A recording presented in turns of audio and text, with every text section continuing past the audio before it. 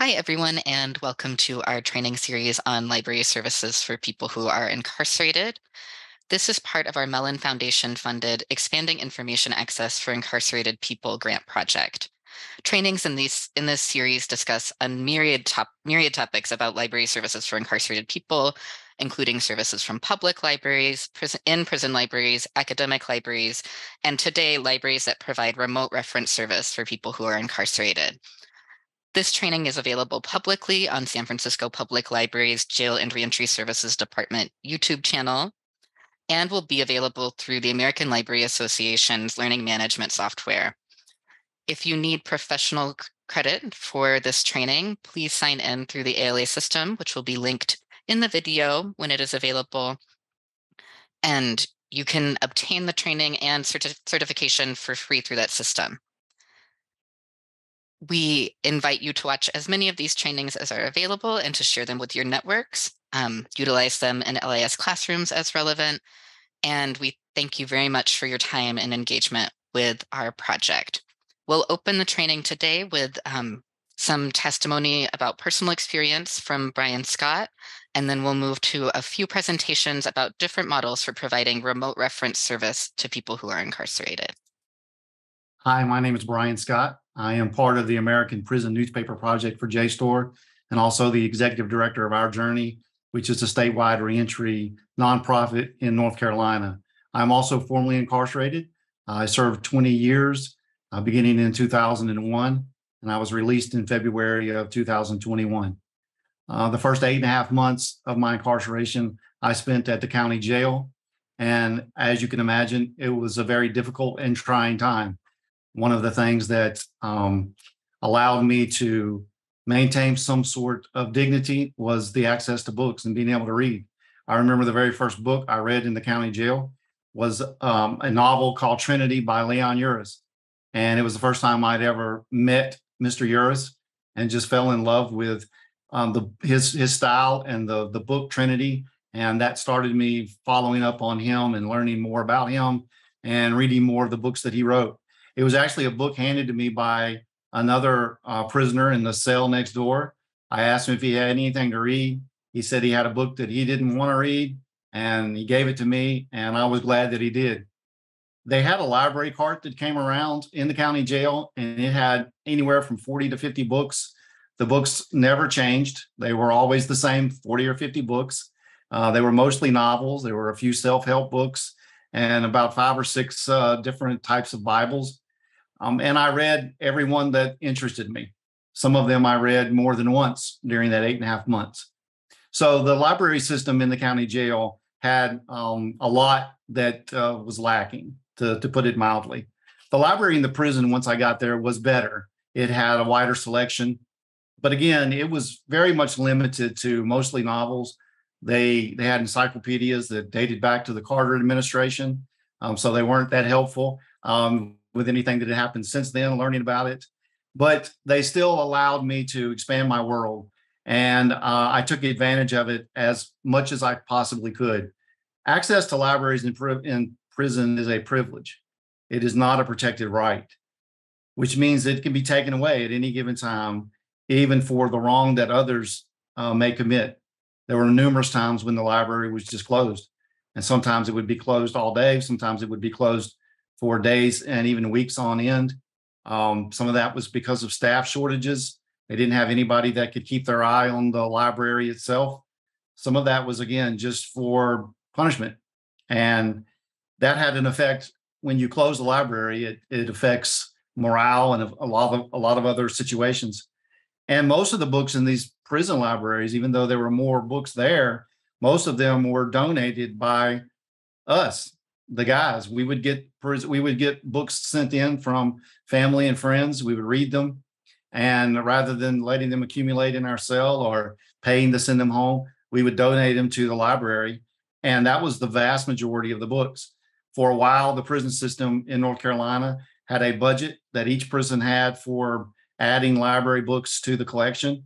But then when the economy crashed in 2008, around that time, um, that funding ended and they stop putting new books in. So then it really was just up to us. And so the books that were in the library and accessible to us were um, mostly novels and that sort of thing. For a while, North Carolina prisons had access to law books in the prisons, in the in the jail. Um, excuse me, in the libraries. That was also taken away. Um, that was actually a decree made by our state legislatures, who decided that um, we didn't need access to law law books and the law library, and so they removed all of those from the libraries across the entire state. And that was a blow because a lot of men had used those law libraries to help um, gain a, a better understanding of the legal system and help them as they prepared legal documents for their appeals or for other various other motions that they wanted to file. And the reasoning behind that um, was because of the number of lawsuits that were being filed by the incarcerated population. And um, so to to kind of cut back on that, they they took away the law library that we had access to, and they created something called Prison Legal Service, where if we felt like we had a legitimate claim, we could write this entity, and they would look into it and file claims for us if they felt like that was necessary. But it was still a, a major blow, especially for those who were working on active cases, whether they were still able to go through the appeals process. Um, that was a that was a bad day when that happened. In 2005, uh, I was responsible for helping start the Nash News, which was the prison newspaper of Nash Correctional Institution. It's still being published today, and I'm very proud of that. But one of the reasons we wanted to publish that newspaper was because we believed in the power of words. We believed in the power of communication, and we believe that words um, help us form communities. And the closer you are to one another, the less likely you are to hurt somebody um, because you see them as as an equal and as a friend and that was one of the main emphasis for the Nash News was just to encourage a culture of reading. And I, that's why I'm so proud that it is still going on today in at Nash and has spread even around um, you know the United States. And thankfully to the to JSTOR people, it's available on uh, in that American Prison Newspaper Collection. Access to information and knowledge is a human rights issue. It is just as important as access to health care for the incarcerated. If what better time to gain knowledge than during incarceration when you have the time to read and explore the world beyond yourself? And it always mystified me why that wasn't more of an emphasis during incarceration. Why the, the library that we had access to was so limited in scope when it could have been a much bigger portal to another world. Um, it did help provide us with that in a limited fashion, but I always felt like, and still continue to feel like, more could be done. Exploring the world beyond yourself is the only way to repair the world within. Thank you. Brian, thank you so much for that incredibly moving testament to the importance of accessing information inside. And just as a note, one of our future trainings is going to be about law library services for people who are incarcerated. We'll highlight some pretty exceptional services that are occurring. Um, I feel like what you've said, Brian, really highlights how much variance there can be with accessing information while pe- while incarcerated, which is an incredibly important point to hold as librarians doing this work. I'm really excited, given that introduction, to get to share um, some examples of libraries outside of facilities that are still working to increase the amount of information that's available for incarcerated people. And with that, I will move to our first presenter. Hello there. My name is Megan Phifer Davis, and I am the manager of the reference department at St. Louis County Library. And I am joined with my colleague, Asha. Hello, I am a library associate at Brentwood Public Library, which is a small municipal library located in St. Louis, and I manage the reference by mail services there. And today we're going to talk about the reference by mail service that started at St. Louis County Library and grew to other St. Louis libraries. So we serve all people living in correctional facilities across the state of Missouri. We also answer letters that come from federal institutions across the country, but those come in very rarely. Letters are centralized to our reference department at St. Louis County Library, which I will go into more detail in a few minutes. We receive letters daily and have scheduled time for staff to solely work on answering letters. We try to get through letters as quickly as possible, but with how many we have coming in daily, we sit at around a one and a half month turnaround. Our whole reason behind answering letters from people that are currently incarcerated is equitable access to information. Our justice involved patrons do not have access to the internet, and from what our Department of Corrections connections tell us, the librarians inside the facilities are too busy with assisting in legal work or are restricted on what they can even do. Outside of the policy we have to follow, we answer whatever the need is. In a meeting with one of our Department of Correction librarians, he said, Wow, you guys can actually send color images. That is so great to hear because for them, that is a request they actually cannot fill. We are able to supplement the institutional uh, library by providing this service and give them a place to refer their patrons to. In the center of this slide, what you'll see is a quote that was within one of our letters that just shows a glimpse at our impact. It reads, All that you do and continue to do helps in ways you may not realize. And we get so many of this um, sentiment in a lot of letters that we receive. So, St. Louis County Library, very obviously, probably uh, to some of you, resides in St. Louis County in Missouri.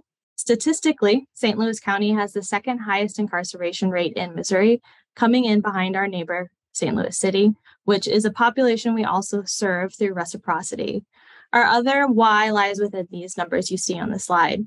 A good percentage of currently incarcerated folks are from our region. We want to create a connection with people currently incarcerated so that when they are released and return home, they know they have a place at the library to always get assistance. Or maybe they're not from the Metro St. Louis area. Hopefully, our service can show them there's a library system that can and will assist them through any information need, and then they choose to live in our area because of our help. It's all about making a connection, inspiring inquisitive interactions, and letting people know the library will support them. So while I mentioned we serve all people living in correctional facilities across the state, the majority of our letters that we answer for people currently incarcerated come from institutions that fall under the Missouri Department of Corrections, or what I will refer to as MODOC from here on out. There are 20 institutions that are within MODOC, which include correctional centers, uh, a couple of reception and diagnostic centers, and a treatment facility. And I would say we've heard from about 13 out of those 13 of those 20 facilities. I started working at St. Louis County Library in 2020. So before me and pre 2018, letters were being sent to the branches and branch managers would answer as they could. My predecessor um, had all letters centralized to the reference department in 2018. And just for some background, our reference department in St. Louis County Library is also a central location uh, where we work out of one building instead of being across all branches. When I started in 2020, letters weren't coming in as, as frequently as they do now, but we still answered around 900 letters that year. For 2021, we wanted to see how we could grow. So I reached out to the Department of Corrections to get connected with someone that worked in a library. Thankfully, after many emails, I was connected with the library coordinator at the Missouri Department of Corrections, and she has been a huge support for the service and has helped us understand more of what the institution librarians work with. Kimberly, who is the library coordinator at MODOC, had our policy posted in every facility library and informed her staff to bring awareness to our service. We also received great suggestions from San Francisco Public Library and New York Public Library on including a flyer with each response, which we always print on a nice colorful flyer. With those two more passive marketing attempts, we grew our service by 293% in 2021.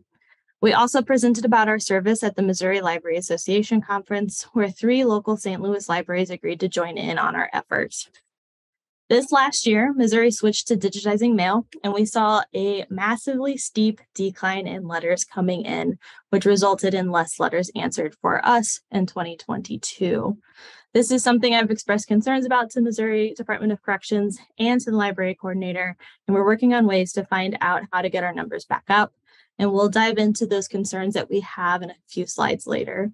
However, while our, our library letters declined um, from 3,616 to 2,416, combined with Asha's library, St. Louis Public Library, and um, Maplewood Public Library, we were able to answer 4,429. So we did see some growth still. So I've mentioned that we did the presentation at the Missouri Library Association conference in 2021, and this is where our friends joined us um, that are also within the St. Louis region. So St. Louis Public Library serves the St. Louis city area. Brentwood Public Library serves Brentwood, a city municipality within St. Louis, and Maplewood serves the Maplewood city area, another municipality within St. Louis, and have joined us in answering letters. This could be a result of why we personally at St. Louis County are seeing a decline as um, we feel our justice involved are spreading the love to all four of our libraries. But as I mentioned previously, combined, we answered 4,429 letters, which was a 13% increase uh, from in 2022 from 2021. One nice thing about having multiple libraries answering letters is that our patron base can write multiple libraries to get answers to many questions quicker and to have many connections to librarians for accurate information. There are libraries that have centralized their letters to ensure that there are no duplicate requests and to better evenly answer letters from patrons. So to make sure that one patron isn't getting answered um, uh, 50 letters while there's other people waiting. At this time, centralizing this work isn't something we are looking at at the moment. To centralize reference by mail between all four of us we would want to talk with the State Library of Missouri, as other states have done centralization through their state's library. We would also hope uh, with our policy of limiting to two letters per month, which you'll see in a few minutes, uh, we are not receiving duplicate requests as to not hopefully waste a question to get similar answers, uh, which we are more than likely getting repeat ans- questions still. Um, but we are hopeful that that, that limiter would not um, have repeat questions. We do have a shared folder between all four libraries of frequent requests. This allows us to ensure we're sending consistent information to our patron base on hot topics like starting a small business, famous historical events, addresses for uh, local organizations, and then contact information for pen pals and legal assistance. Uh, and then, weirdly, uh, celebrity net worths. Uh, we have had two justice involved patrons call us out once for sending different net worth numbers on celebrities so we decided to make one big document of net worths so that we weren't confusing anybody. We may look into centralization in the future, but we would need assistance from a large institution like the state library or a specific department devoted to working with justice involved to be able to be efficient. So this is a beautiful policy page that includes the addresses to all four of the library systems. We print this on brightly colored paper. New York Public uh, Library had um, recommended jam and salmon and send this with each response. Since digitization, I'm not sure how effective sending this policy letter is with each response, as uh, it's not going to be on colored paper by the time our, our patrons get it and it's going to a tablet. But we do still send this policy just as a reminder of what we can and cannot do. For justice involved writers in other states, we often get asked for this policy letter and believe growth that we are seeing out of state correctional facilities is due in part to sending our policy on that right paper. And we're going to talk about some of the differences and procedures next.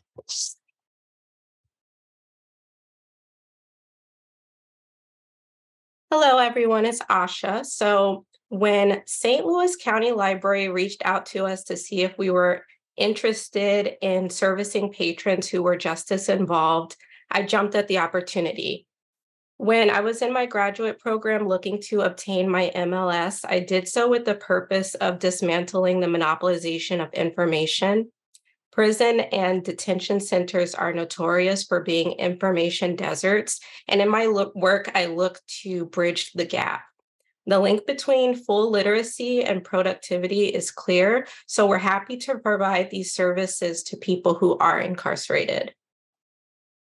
With that said, our letter response process is a bit different from St. Louis County Library due to the amount of staff working on letters. St. Louis County Library has 11 staff members answering letters, while Brentwood Public Library has two. So, St. Louis County Library has a first in, first out policy where we have a workflow when it comes to our responses. Um, so you can see here what their process is. Um, and here is what our process looks like. So we collect about 20 letters and we separate them into categories. The categories are usually images, medical information, legal information, song lyrics, and random facts. We will then tackle each category until we complete our responses for the letters. It can make it easier to focus on each letter and tackle them more quickly when we go into the mindset of, okay, I'm going to answer all lyrics requests or I'm going to answer all image requests right now. While the workflow is a bit different, the policies between Brentwood Public Library and St. Louis County Library are the same. Neither library provides medical advice, legal advice, tax, or financial consultation. In cases where we get requests regarding legal information, we inform patrons that we are not able to provide legal advice and to consult with an attorney regarding any questions. When they request information on specific laws or statutes, we will print out the item in question. An example would be some of our patrons have requested the Missouri Constitution. So we'll send them portions of the Constitution or the full Constitution, um, just depending on what exactly they're asking for. A lot of times, patrons will ask for legal referrals. We will refer them back to their institutional library as the Department of Corrections coordinator communicated that the facility librarians do answer a lot of legal questions. We get a lot of questions asking for pro bono attorneys, and we refer people to the legal services of Eastern Missouri or Washington University and St. Louis University's legal clinic contacts. While we cannot determine if attorneys may do pro bono work, these organizations may have a better idea. The same goes for medical advice. While we cannot provide insight into any medical situation a patron is experiencing, if we get a question like, How do I find my BMI? we'll provide information directly from a reputable source. So, some of the pressing issues here in Missouri that we have have to do with concerns regarding the digitization of mail, how long the information is kept. And at Brentwood, we have seen an uptick in the number of letters that are being sent back to us. There's a lot of frustration regarding the policy that the Missouri Department of Corrections doesn't want us to send pictures and images in the same envelope. So when a patron is requesting information on workout routines, we have to send one letter containing the images of the workout without captions or explanations. And we have to send another letter with that information. It can be time intensive and it can disrupt the workflow. And these kinds of inconveniences can lead to staff putting letters off a little longer to get to the letters that we can answer a little bit more quickly. Additionally, Letters can get backed up during certain times of the year because of other duties. We're fortunate to have St. Louis County Library, St. Louis Public Library, and Maplewood Public Library to fall back on when we need support for the demand. Um, lastly, we have had con- some concerns regarding requests that can be deemed as inappropriate. We're volunteering a service because we recognize the need, and it's important to ground ourselves and remind ourselves that the mission of the work is to provide information to those patrons. We can see that it's making a tangible difference when we get feedback from our patrons. Additionally, some of our policies that we've had to put in place to make sure that we're not receiving too many requests is telling patrons that we'll only answer two letters per month. A DOC policy is that we can only send up to 10 pages. And a previous DOC policy is that they did not allow curse words, but since digitization, they now allow curse words. Um, additional concerns that we've had are we're seeing less challenges um, overall throughout all four of the libraries. So we're concerned if the letters are actually making it through. Sometimes at Brentwood, when we receive a challenge, it'll be four months later. So we're wondering why it's taking so long for the challenges to come back to us. Additionally, St. Louis County Library had an instance where a detective asked if they were smuggling drugs through the reference by mail services and if they were taking the high set for patrons. So, some of the exciting aspects of the work are the feedback that we receive from patrons.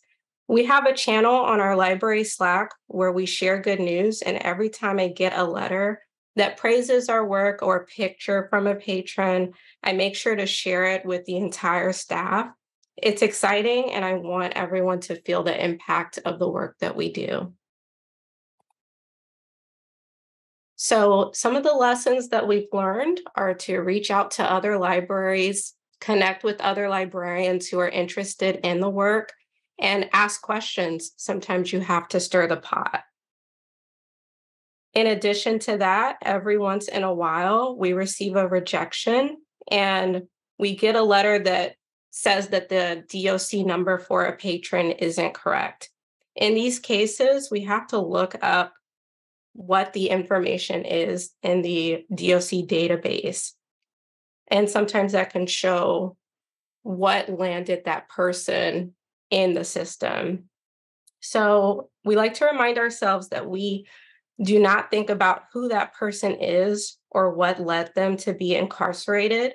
They deserve access to information, and access to information creates empathy, and it's an integral part of the human experience, regardless of what crimes may or may not have been committed. I tell myself that I don't have insight into the legal affairs of the patrons who walk in the doors of the library. So it shouldn't affect the service that I provide to patrons who I may have access to. Every patron deserves the same respect and treatment, whether they're referenced by mail patrons or patrons who can just walk through our doors. And that concludes my presentation. Hello, my name is Jennifer Harmonson, and I am a librarian with Sacramento Public Library, as well as the coordinator for our reference by mail service. In September of 2020, a proposal to begin the reference by mail service for Sacramento Public Library was approved, and responses to the letters that we had previously received began going out. By June of 2021, the service was expanded to a team of staff, and as the demand grew, so did the staff team. We now have over 20 staff members regularly researching and responding to the requests we receive, though for all of us, this is a function of our job Unfortunately, at present, no one is tasked specifically or primarily with this work. We receive around 125 letters each month, and our letter writers contact us from any of 10 California Department of Corrections and Rehab facilities, four county jails, and one federal facility. We have a rules and guidelines document we include with every response we mail out, even to our regulars. You can see most of that here. It has been revised over time, and while some of the rules are flexible, others are not. If you'd like to review this more thoroughly, URL shown here will take you to the full list. I want to mention a few quick rules, a few quick notes about some of these rules. The first two are the most basic foundations of the service, which is answering two letters per sender each month with up to three questions answered per letter and up to 10 double sided pages of information with each response. There is a little flexibility on the number of questions if they are relatively easy, easily researched, or if it's for something as simple as locating photos or logos. And in that case, we will answer up to five. We'll also send more than 10 double sided pages if it means a thorough response. We don't want to cut off a 12 double sided page article by limiting it to 10 when that gives more accurate information. So we will be flexible in that way. Rule number five about legal and medical advice or opinions is set in stone. Unless the requester specifies something by name, we cannot send it. Rule number six was updated recently, and I'll point out the part about qualifiers because these specifications began to get unwieldy and were making staff uncomfortable. Rule number 10 does not preclude what might be considered true crime information. It's decided based on the specifics of the request and who the information is about. Pictured is the physical stacks of requests I keep at my desk until they find their way to the shred bin. Because our staff team is scattered around a 28 location library system, we use a set of shared folders in Google Drive to which only active team members have access. I'm the only one who actually handles physical letters. There's two sides of the general process how the physical and scanned copies are managed, and then the staff side, including statistics keeping. We'll go back to the statistics soon, but first, let's start with how the letters are managed. I moved the physical letters through this series of three trays, which you can see are marked as unprocessed, unclaimed, and claimed. And the virtual trays in Google Drive are very similar. And just to reassure you, each bin has a little privacy shield. Those are pages that were taken from a discarded, oversized book about the Orient Express. Everything that is received but has not been opened is held in the first tray marked unprocessed. Once I process these and put them into our shared Google Drive folder, I move them to the middle tray marked unclaimed. And at least once a week, I compare the stack of unclaimed physical letters to the scanned version in the unclaimed scans folder, which is highlighted here. Those that have not been claimed stay in this tray and in this folder. Those no longer found in either are set aside. Next, I open this claimed scans folder and compare those to the physical letters in the last tray, also labeled claimed. The ones that are still in the claimed scans folder are returned to the physical tray. Those no, no longer appearing there are set aside. Finally, I take the ones that were set aside last and compare them to those in the completed scans folder. Upon verification that each has been completed, my final step is to compare each physical letter to the statistics spreadsheet. If there are any that have not been fully updated, I contact the staff person who worked on that request and ask them to fill in the missing information. Once that has been done, the original letter is put in the shred bin and the scanned version is moved into the highlighted marked for deletion folder. Regarding the staff side and statistics keeping part of the process, it goes as follows. Letters are opened and given a file name, which is noted in column A, the double digit month and the double digit day, and then they're sequentially numbered 0.1, 0.2, 0.3, etc. They're scanned and uploaded to the Google Drive folder that I showed you a moment ago called Scan Requests Unclaimed. Information is then added to this spreadsheet. My information that I add is the file name in column A, the sender's first name and last initial in column B, and the date it was received in column C. That may seem a bit redundant. It's just for housekeeping purposes on the back end of things. Staff will claim a request by renaming the PDF with their initials, their branch or department code, and the double digit month and double digit day that they claimed it. You'll be able to see this in a future slide. They then move the PDF into the next folder, claimed requests, and upon completion of re- reply, they will update the remainder of statistical information, move the scan into the completed requests folder, and mail the letter. The information that staff update is their name in the staff column, the number of questions they answer, inquiry keywords, the date they mail the reply, if there's any internal notes that need to be made, and whether a warning was sent. The internal notes column can be something from me that is meant to be information to update staff, such as if the bottom line of a scan cut off the letter. or can be information from staff for me and is also internal housekeeping.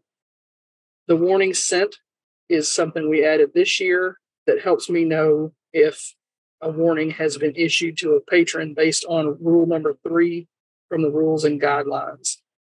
Once the response to the letter has been sent, the original letter is shredded and the scanned copy is held for a period of three months, after which it is deleted. Among other things that are covered in the training process, this is very important. Deciding how to handle questions and or the resulting information that could land in gray area. how would I respond to this in person? If a patron approached you at a service point and asked the same question, would it be a topic you would help them research?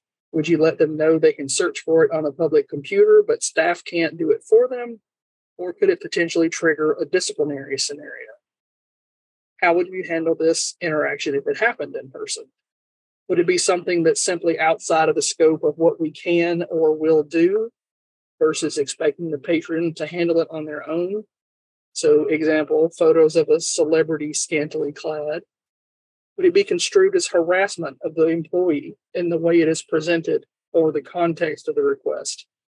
Could it potentially be something that one staff person is not comfortable with, but someone else is okay with researching?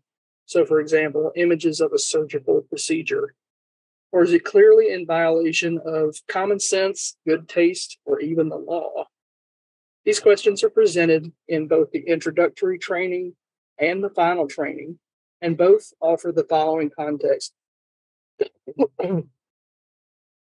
Our goal is to answer all questions to the best of our ability with the most thorough, current, and accurate information possible. This is not to be at the expense of our staff feeling comfortable with the subject matter of the request or the content of the search and response. Staff are empowered to decide for themselves what can be returned to the group to let someone else respond to and what has crossed a line and should be responded to with a warning. They can involve me if they choose to, but they don't have to. Helping someone get the resources they want and need, whether for educational purposes or entertainment, is always a great thing in the libraries. Knowing you were doing this for someone who would otherwise not have access is a whole other level of fulfillment. It's especially great to see letters that come in that begin with thank yous for previous information sent out and we even get gifts now and then artwork and holiday cards and things of the like and those are really great. I'd like to offer my responses to some of the questions that are asked regarding this process. First what's working the way we manage the process around our system has worked really well there's no need to have the original documents floating around all over the place. There's no concerns of accidentally sharing confidential information with anyone outside the team or anything like this. What's been a challenge? Keeping tabs on excess requests and repeated requests. This is where we shifted to being more intentional in the choice of keywords that we track. Rather than just celebrity photos, we now include the name. Instead of racing pigeons, and we get a lot of questions about racing pigeons, we note what breed of bird was requested. This allows us to do a quick Control F search to determine if the same content has been requested by the same person in the past. It's not something we actively track, but it is good to have it there when we know that it has become a repeat and unnecessary problem. What are some lessons we've learned? In addition to starting with existing content, documents, and structures, being open to finding what worked for us can be that can be changed or added to that foundation has been great. We definitely needed a better way to keep up with the times patrons were sent formal warnings. I realized in mid January of this year that three patrons had received more than three warnings in mid to late 2022, and I had not noticed this pattern. Changing how we track this has been a huge help. What resources do we have? I created a handbook that has all our internal processes, guidelines, rules, expectations, etc., that is meant as both a training tool and a quick reference guide for the reference by mail staff team. The handbook includes a variety of resource links through which we can find information on topics likely to be of more interest, such as education, finances, healthcare, the rights of incarcerated people, and other topics. We also have a group email that we can use to reach out to one another.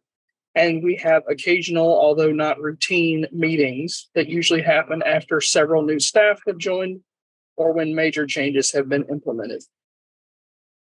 I get asked what types of requests we receive.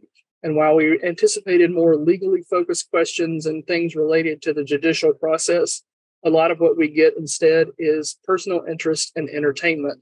And this is in addition to people who are planning for post release employment, housing, support services, and education. I'll leave you with this. One major takeaway that I would stress for anyone looking at introducing this type of service at their library is do not hesitate to reach out to others who are already doing this. Much of the documentation we began with came from reviewing what New York Public Library and San Francisco Public Library had already developed. When possible, create a team and work together to develop your library's rules, guidelines, processes, and procedures. Stay in regular contact with one another and never hesitate to circle back to the library or libraries that supported you when you got started. I once heard that in libraries, R and D means rip off and duplicate. And I think this is a perfect example of how true and useful that is.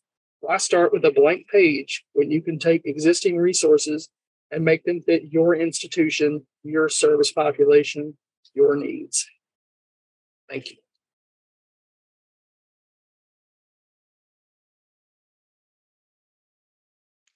Hi, welcome and thank you for your interest in learning about Research by Mail, a prison correspondence service provided by the Harris County Public Library System, based in Harris County and Houston, Texas area.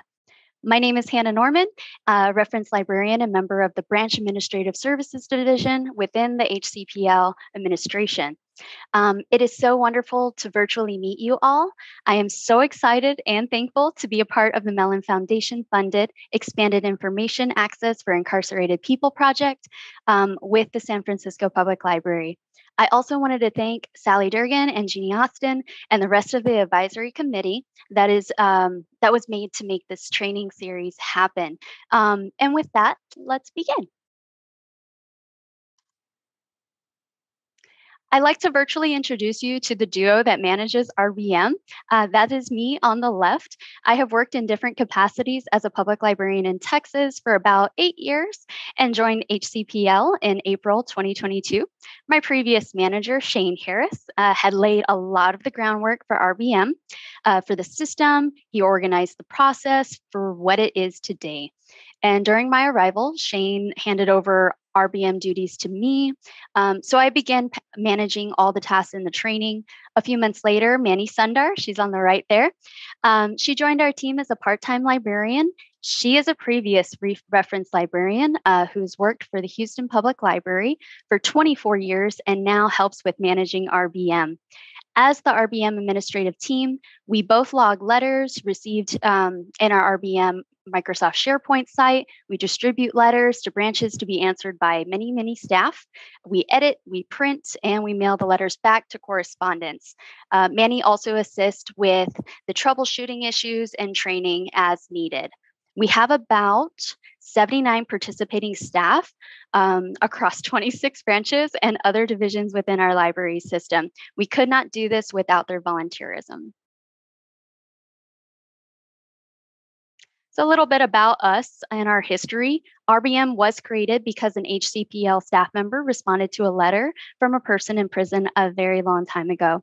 HCPL has never openly promoted uh, the mailing reference service, and it has strictly been through word of mouth communication that our service has helped people in prison from um, across the United States. Uh, we respond to letter requests from anyone who writes us, not just to those who are incarcerated.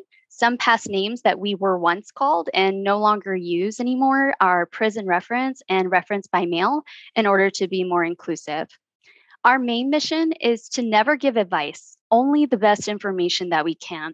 We are not in a place to pass judgment. We should approach all requests with professionalism, respect, and dignity. Okay, and here are some of our latest numbers for our program.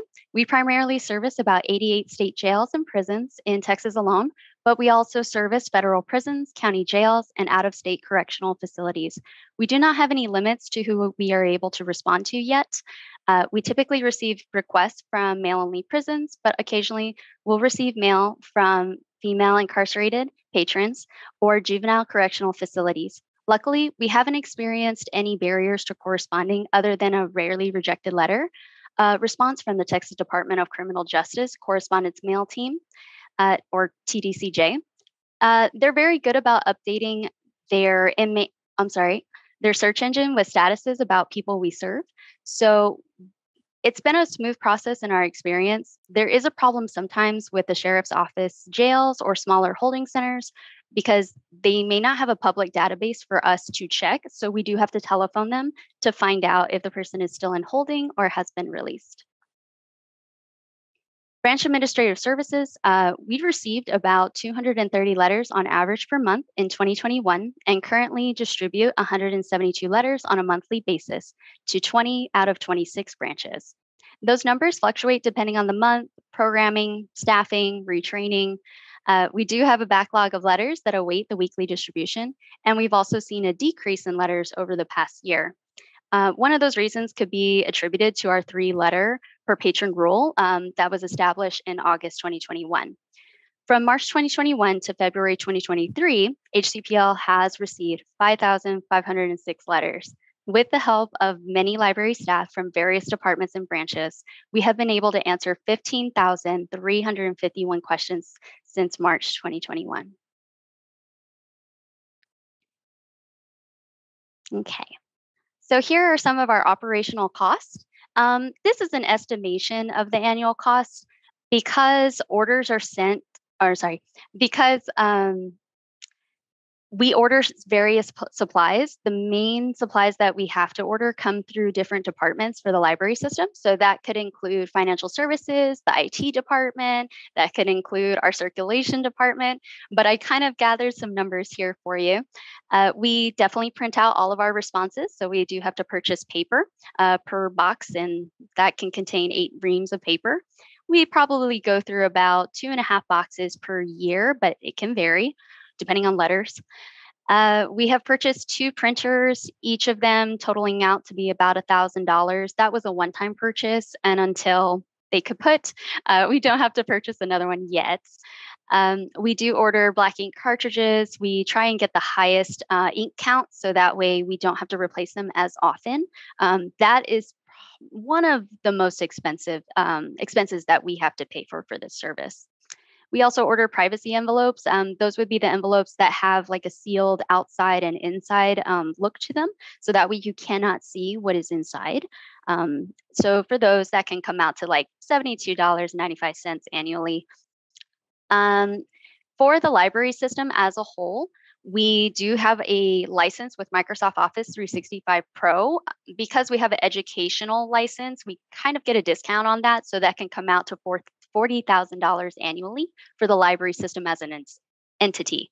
There is about 475 employees, so we all share the license. Um, for us and for this program for Research by Mail, we do have a SharePoint page. And for that um, specific line item, if you wanted to know the cost on that, um, you can definitely reach out to me and then I can find that information for you.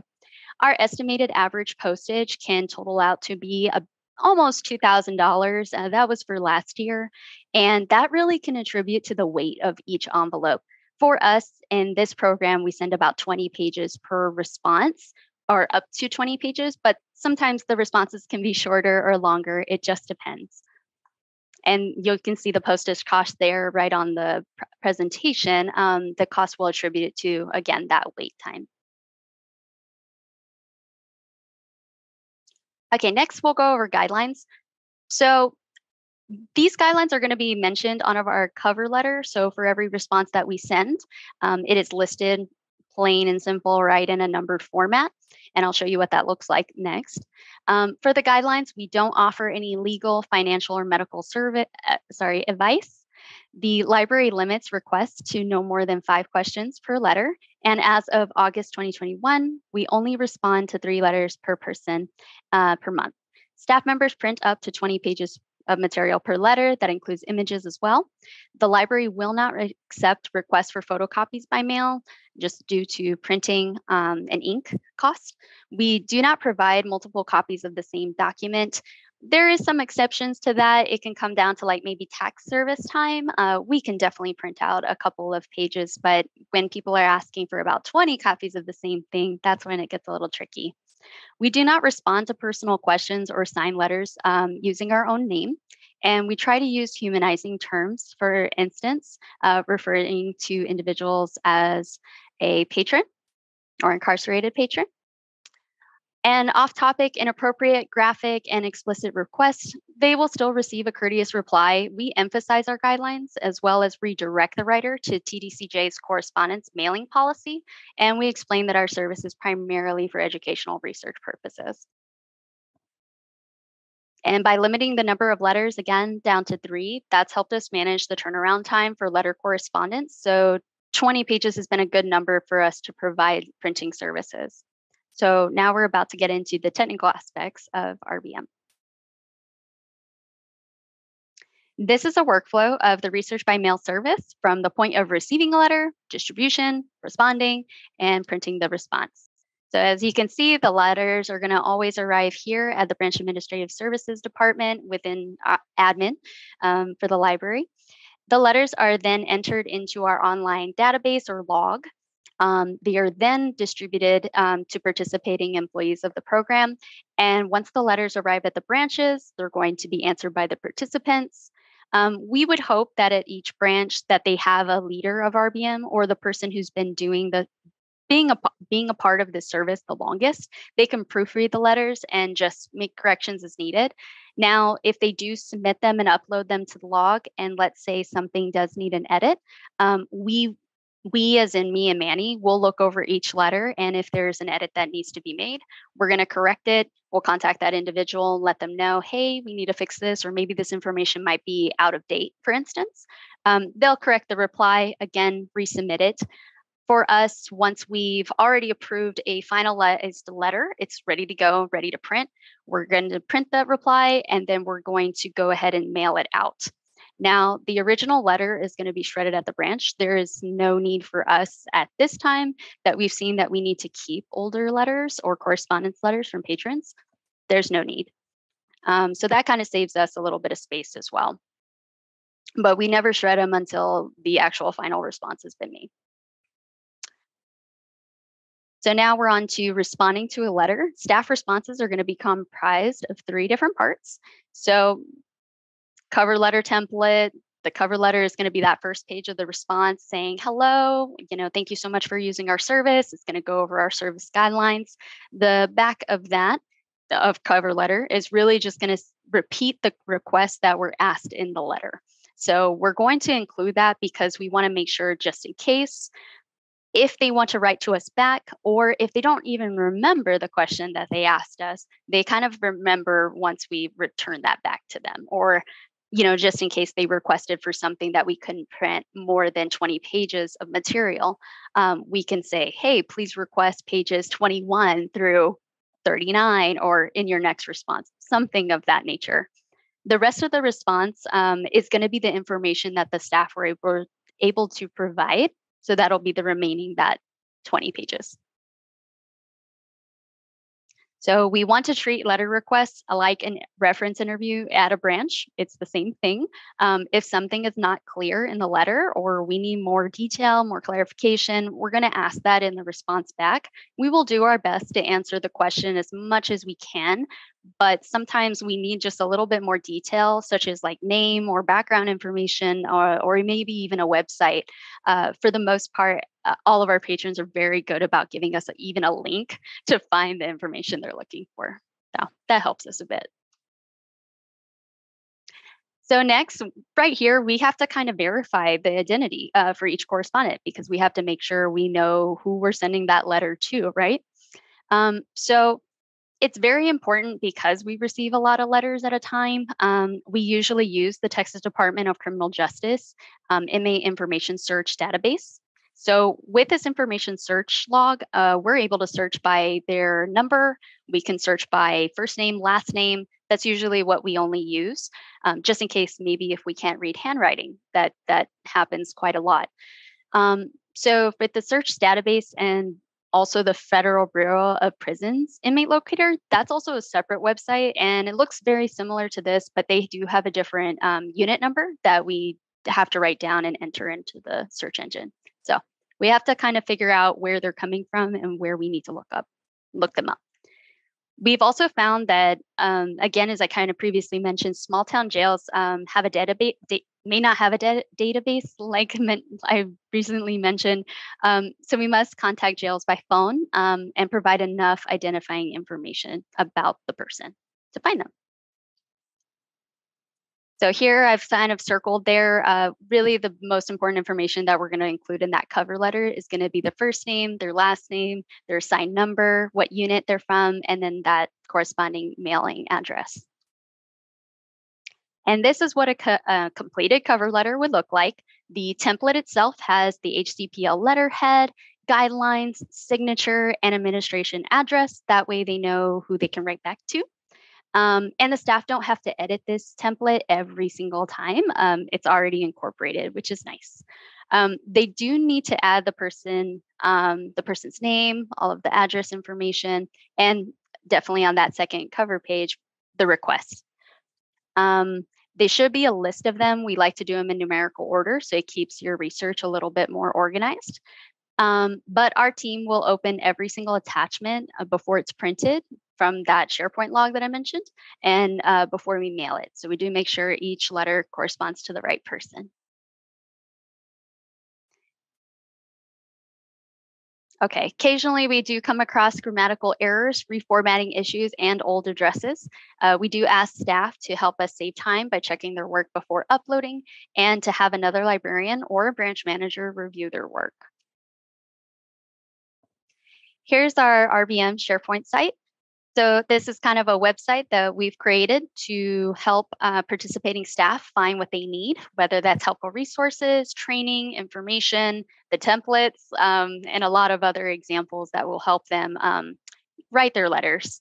Uh, if staff are interested in participating in our program, we always ask if they can ask for approval from their supervisor because this is a long um, process. This isn't something that you can just do um, when you have spare time. It's kind of something that takes a little bit more time. It's time intensive, uh, intensive, and the staff do it at a voluntary like service. They they don't actually have to do this, and it's not a part of like their work plans for the um, county.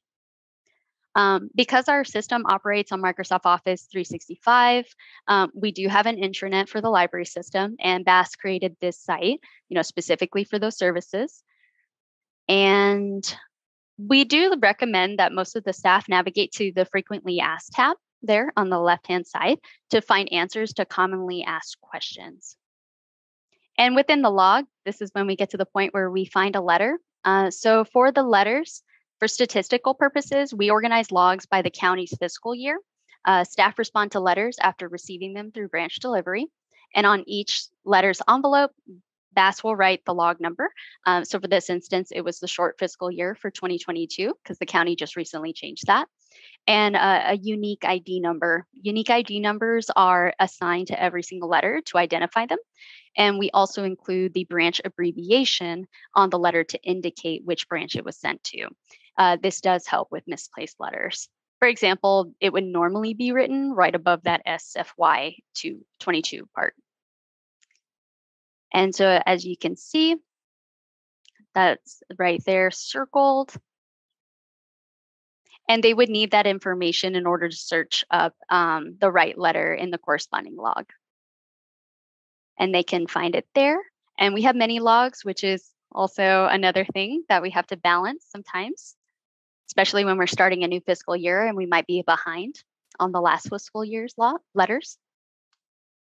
So they can search up any of the letters with that ID number or the unique personal ID number, and even by unit and branch, which is helpful. So moving on, this is our editing record entry. So every single letter is going to have its own record entry. What you'll see right here is actually just one letter, but it's the process that it's going, going to take um, from the time we get the letter to the time that we print it. So um, BAS is going to create each entry we do that work um, on our own. We enter the personal ID number, unit, the branch. Um, we're going to assign it a status. Usually it's sent to branch. And then we're going to enter the postmark date. That way we know when that letter arrived to us and it's time sensitive. And I've circled that there for you so you can see.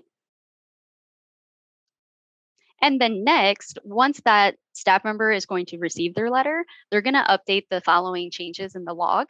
They're going to update that status to complete. That way it lets me and Manny know that it's ready to print. And then they're also going to enter how many questions they answered. That's for statistical purposes. And then they're also going to upload any attachments. And for us, we don't have any limits on how many attachments they can um, add on to that list item. Under the status field, staff can use the under branch review option to indicate to the manager that they need to review the letter before marking it completed.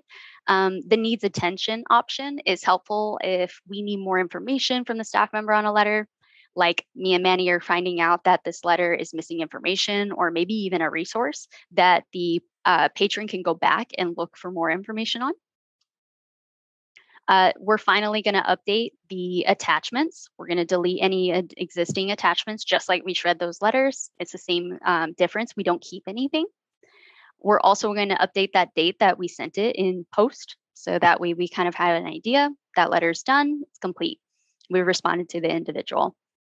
And the status, we're going to change it to shred record closed. Next, we're updating that record. And I wanted to show you guys what this looks like because this is technically a form of sorts. Um, because we use Microsoft Lists like a submission form, um, we're going to break this down here. As you can see, there is a section for the staff to fill out, or I'm sorry, BAS to fill out. It's the personal ID number, that unit, the branch information, um, we have to make sure that information is accurate because there can be duplicates. Many people can send multiple letters at a time, right? And then next, uh, we update that status just like they update the status staff. And then we'll see those attachments at the bottom. We do mark out a section under there where we don't want the staff to fill out. And that's going to be that postmark section, um, how many pages we ended up printing. Because from time to time, when we edit, we'll actually reduce the amount of pages that they initially thought they were going to be printed. Um, the file types that we do accept with the Microsoft list, or at least what this um, type of format uses, is Microsoft Word documents, Excel sheets, and PDF files, um, and images. Images, we always recommend that the staff paste any images, like let's say pictures of celebrities, into a Word document, then upload. Um, many, many pictures all at one time.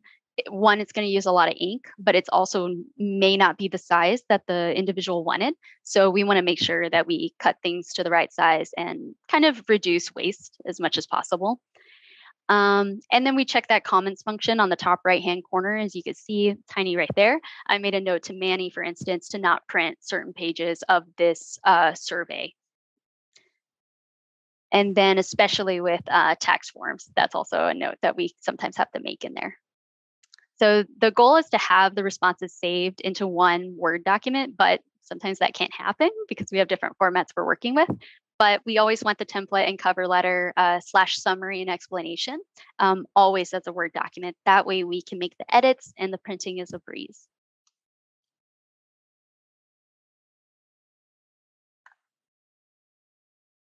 Okay, so here are some additional details that we wanted to share with you here. Um, so formatting, again, we do black and white double-sided printing, 20 pages of material per letter response, and page limit does not include our cover letter. We don't count that. Um, we, we incorporate some of these details into our training and we handle some of these requests on a case by case basis when a question is oddly specific. Uh, we do touch on reference and copyright practices as well because some of our library staff may not be as well versed in library reference work or maybe they're new to libraries. We're not sure. Um, we receive many common requests, such as housing, reentry programs, legal aid, and records access. Um, as you can see there, we get cards, board games. Uh, we get a lot of different kinds of requests, and we kind of have to take all of them um, very seriously because we never know what we're going to get, right? And for legal and reference help, if our system and our staff cannot answer the question or we don't have the same resources, uh, we're going to redirect them to reach out to the Harris County Law Library and the Texas State Law Library that's based in Austin, Texas. Um, and we provide them the address, phone number, anything that they need. Uh, thanks to our Microsoft Teams channel, many staff, um, as you can see on the right there in that little picture, um, a lot of our staff share resources that they have found over the years to help new staff um, to RBM um, with the program, with answering and responses. So here are some obstacles and opportunities that we are facing at the moment. Um, turnaround times, that is a big one for us. Um, we are only about two months away from the recently distributed letters. Um, we would like to be at a point where as soon as we receive a letter, we can return a response within one to two weeks. Um, but sometimes that changes depending on staffing and turnover, all of that. Um, we would love to collaborate with other libraries. Um, we're reaching out to some of the Texas libraries nearby to see if maybe they are already doing a service that's just like ours, and maybe we can unite and make this one cohesive uh, service. Um, I would love to work with um, some other locations with that. Um, maybe in that can lessen the burden of so many requests in a way. Um, we are also going to get a new HCPL webpage. So we're so excited. Um, this is the first time that Research by Mail is going to have its own webpage and service.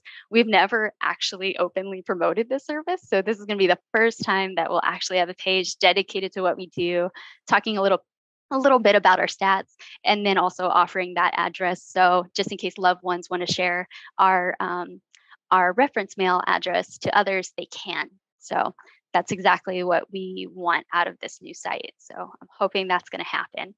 Um, we're hoping that that webpage, this recorded training, um, it's going to advocate for our service, um, maybe bring about some unexpected partnerships along the way. And this is some of my favorite pictures. Uh, and these are thank you messages and heartfelt compliments um, to help remind us to continue providing this life changing service and um, the work that we do in our libraries and outside of them. Um, and as our saying goes with Harris County Public Library, we open a pathway to knowledge. Um, so we are hoping that research by mail and service and work that we do also helps um, underserved communities.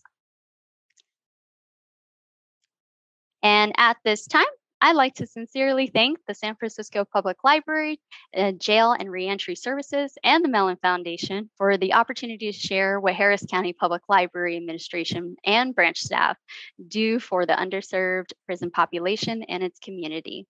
Um, if you have any questions about research by mail or any of our other library services, please contact me at the email address or phone number that you see on the screen. And um, with that, I want to wish you a wonderful rest of your day and thank you so much.